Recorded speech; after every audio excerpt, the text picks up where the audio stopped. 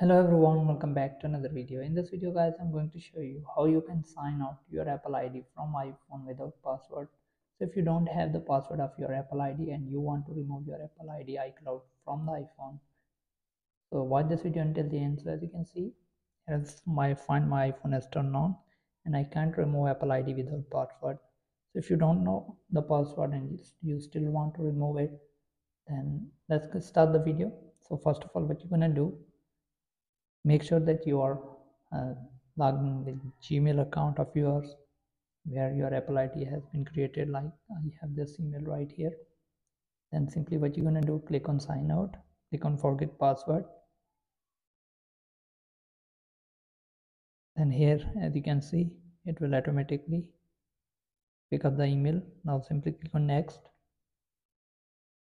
Now as you can see there you have two options. You can reset by email or security question. So we are going out to click on reset by email. And as you can see password reset email sent. Now simply go to your email section and look up for the email that you reset the email as you can see. Now simply click on it and click on reset now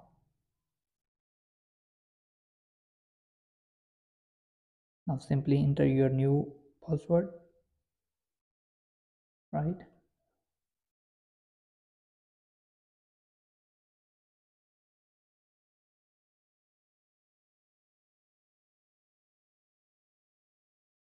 Then simply click on reset password and password will be changed.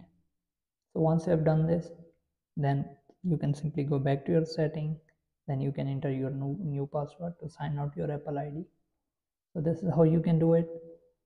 Hope you guys like the video. If you do then leave a like and comment. Thanks for watching